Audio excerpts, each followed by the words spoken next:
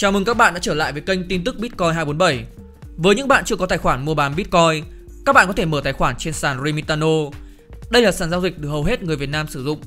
Nếu đăng ký theo đường link ở phần mô tả, các bạn sẽ được giảm phí giao dịch lên tới 20% trọn đời.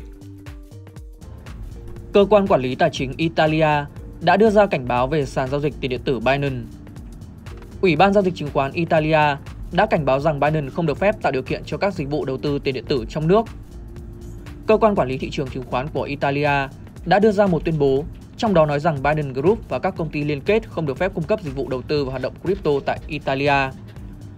Cơ quan quản lý chỉ rõ rằng cảnh báo đề cập đến Binance.com, trang web chính thức của sàn giao dịch tiền điện tử toàn cầu. Cơ quan này tiếp tục cảnh báo người dân về những tác động tiềm ẩn đối với tình trạng pháp lý của Binance ở Ý, khuyên người dân nên thận trọng khi đưa ra các lựa chọn đầu tư. Italia đã cùng với ngày càng nhiều quốc gia đưa ra cảnh báo công khai liên quan đến Binance sàn giao dịch tiền điện tử lớn nhất thế giới tính theo khối lượng giao dịch. Trong mọi trường hợp, điều quan trọng là các nhà đầu tư phải được thông báo rằng các giao dịch trong các công cụ liên quan đến tài sản tiền điện tử có thể gây ra rủi ro không thể nhận thấy ngay lập tức do tính phức tạp, tính biến động cao cũng như các lỗ hổng bảo mật. Cảnh báo mới nhất được đưa ra khi Binance đối mặt với vụ kiện tập thể từ một nhóm các nhà đầu tư Italia và quốc tế. Vào tuần trước, công ty pháp lý Lexia Avocati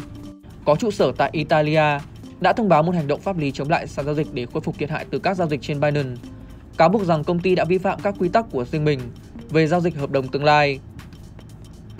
Để đưa ra cảnh báo mới nhất, Ủy ban giao dịch chứng khoán Italia đã lặp lại các động thái tương tự của các nhà chức trách ở Ba Lan, Đức, Vương quốc Anh, quần đảo Cayman, Thái Lan, Canada, Nhật Bản, Singapore và Hoa Kỳ.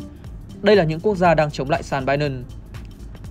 Trước đó, CEO của Binance là Chang Peng Zhao đã nhấn mạnh cam kết hợp tác với các cơ quan quản lý trong vấn đề giao dịch tiền điện tử. CG nói rằng ngành công nghiệp tiền điện tử vẫn thiếu các khuôn khổ quy định rõ ràng ở một số quốc gia, cần thêm nhiều quy định hơn với những dấu hiệu tích cực, cho thấy một ngành công nghiệp đang trưởng thành. CG giải thích rằng các quy định rõ ràng sẽ cung cấp nền tảng cho việc áp dụng, giúp nhiều người cảm thấy an toàn hơn khi tham gia vào thị trường tiền điện tử. Biden đã phát triển đội ngũ để tuân thủ luật pháp quốc tế và ban cố vấn của họ tăng lên gấp 5 lần kể từ năm 2020, bao gồm các cuộc hẹn từ các cơ quan quản lý toàn cầu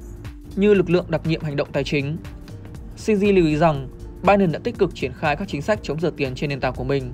hợp tác với công ty tình báo tiền điện tử CipherTrace để đảm bảo hơn nữa. Những lo ngại ngày càng tăng khi tình hình sàn Biden phải chịu lệnh cấm từ nhiều quốc gia. Nhiều ngân hàng đã tạm ngừng chuyển khoản tới nền tảng này và các ngân hàng như Barclays cũng đã ngừng thanh toán cho Biden.